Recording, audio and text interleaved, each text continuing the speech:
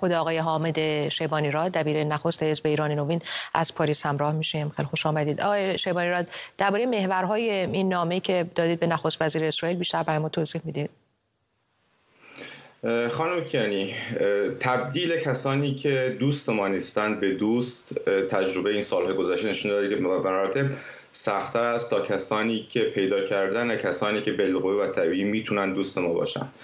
در تمام این سال همجوری در نامه بهش اشاره شده ملت ایران به خوبی نشون دادن که با ملت اسرائیل دوست هستند و سرنوشتشون در هم تنیده است و خود نیکروزی ایرانیان و اسرائیلیا به سرنگون جمهوری اسلامی بستگی داره.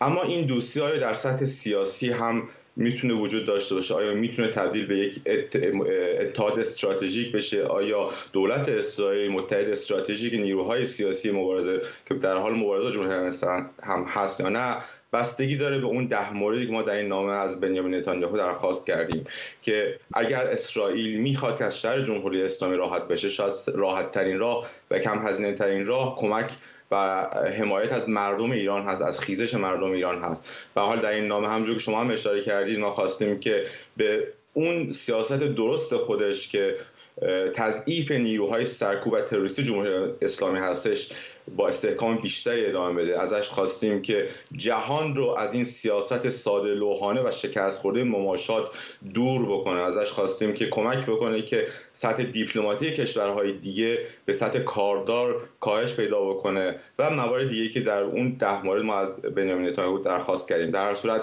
پیدا کردن دوست من تکرار کنم چون اهمیتی داره. پیدا کردن دوست به مراتب راحت است تا دوست ساختن. تمام تجربه گذشته ای که وجود داشته نشون داده که کشورهای غربی به طور خاص دموکرات های آمریکا و کشور اروپایی نتونستن و نخواستند و مجاب نشدن که سیاست مماشات و باجدهی با جمهوری اسلامی کنار بذارن و ما برای کمک مردم ایران تلاش می‌کنیم که بگن دوستانی که می‌تونن دوستان متحد استراتژیک باشن رو پیدا بکنیم. از جمله مواردی که در این نامه خواستید از نخست وزیر اسرائیل دفاع از در واقع مشروع مردم ایران هست که گفتین که خواستن پشتیبانی بکنن ولی انتظار دارید که این پشتیبانی به چه شکلی صورت بگیره؟ چه ویژگیهایی داشته باشه؟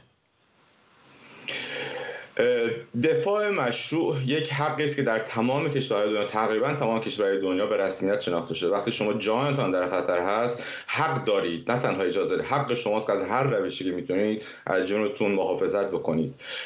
این که هر روشی شما می‌تونید از جونتون محافظت بکنید در همون نامه هم ما به بنیامین نتانیاهو پیشنهاد دادیم و درخواست کردیم در واقع که از حق دفاع مشروع به هر روشی که ممکن هست حمایت بکنید این رو بایستی تفکیک قائل بشیم که دفاع مشروع خشونت نیست. اتفاقا جلوگیری از خشونت هستش. این کمکی که اسرائیل می‌تونه بکنه می‌تونه از کمک اطلاعاتی امنیتی باشه تا حتی حتی خونساسازی عوامل سرکوب سرکرده های سرکوب. در صورت وقتی که مردم ایران در خیابون جانشان در خطر هست و ما اینکه در خارج بشینیم و نگاه بکنیم خیلی اخلاقی نیست. بایستی به اونها کمک بکنیم. بازم تکرار می‌کنم این بایستی جا بیفته در ذهن همه. حق دفاع مشروع حقش به رسمیت شناخته در تمام دنیا و ما مردم ایران هم باید از این حق بتونن استفاده بکنن و کسانی که جانشون رو در خطر میندازن همین امروز دختران ما در خیابون جانشون در خطر هست. فراموش نکنیم سرنوشتی برای محسا همین اتفاق افتاد برای آرمیتا گراوان اتفاق و برای بسیاری دیگر.